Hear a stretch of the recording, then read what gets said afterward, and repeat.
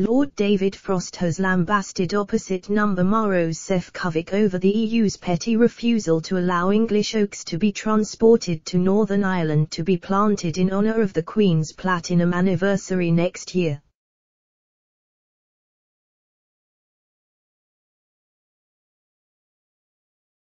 and the Brexit minister admitted recent trips to the north had filled him with deep concern at the situation while stressing the UK was ready to take steps to safeguard our own position.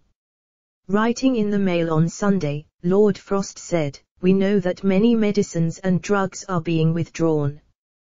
We have seen the Jewish community in Northern Ireland saying they feel at risk because they are struggling to import kosher products from elsewhere in the UK.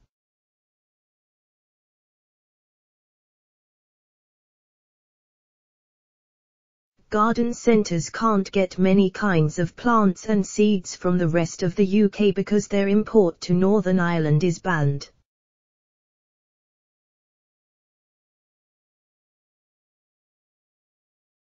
He added, we are even in a position where plans to mark the Queen's Platinum Jubilee next year by planting trees cannot be properly implemented in Northern Ireland because English oaks, and many other trees, can't be moved there even though plenty were moved until the end of last year, and as far as I am aware have not all been cut down since.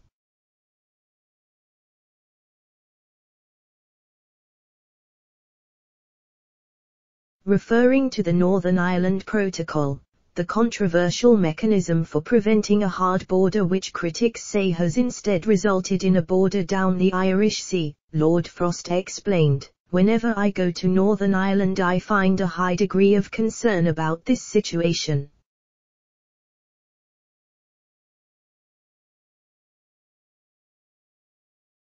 Some want it resolved by negotiation, some want us to use the safeguards available under Article 16 of the Protocol.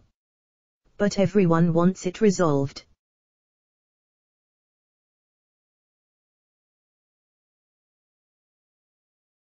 I still hope the EU can show the ambition needed to fix the problem by agreement. If they can't, of course, we will have to safeguard our position in other ways.